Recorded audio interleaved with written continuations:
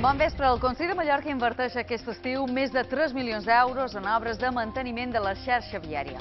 Dos milions són per posar barreres acústiques a la via de cintura entre l'autopista d'Inca i l'Institut de Sant Golau i un per ampliar i asfaltar de nou la carretera que va del Festival Park a Santa Maria, una via molt usada pels ciclistes que reclamen major seguretat.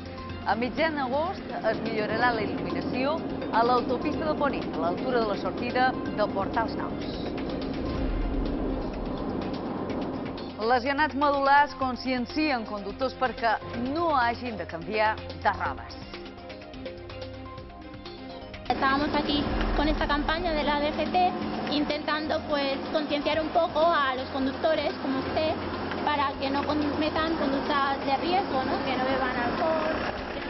Són voluntaris que per mot d'un accident de trànsit han quedat discapacitats. Amb la DGT i la Guàrdia Civil han fet avui cap vespre una campanya dirigida a conductors sobre el greu risc que suposa conduir sota els efectes de l'alcohol.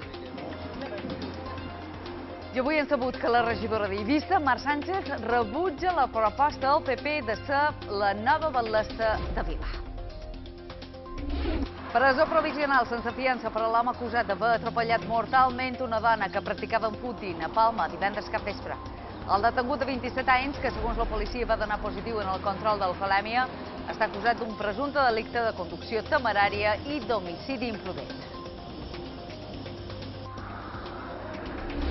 L'Ajuntament de Sant Josep de Satalaia dona un 40% més de llicències d'obra amb la incorporació de dos arquitectes tècnics que ajuden a reduir la sobrecàrrega de feina que hi ha al Departament d'Urbanisme.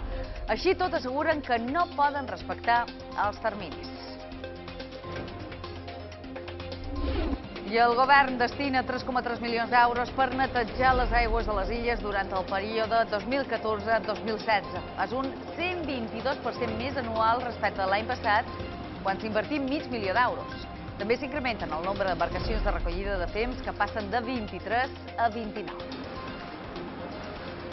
En els esports, bon vespre. Àlex Abrines aposta per l'èxit de la selecció espanyola en el Mundial de Bàsquet que es disputarà precisament a Espanya. Serà el seu debut amb el combinat absolut i l'escorta mallorquí aspira a penjar-se la medalla d'or. Així ens ho ha dit a casa seva, a Palma. Tot d'una l'escoltam, així com el ciclista Vicent Reinés, que decidirà després de la Vuelta si penja o no la bicicleta. El cap de setmana també ens deixa èxits per a l'esport balear en natació i piragüisme.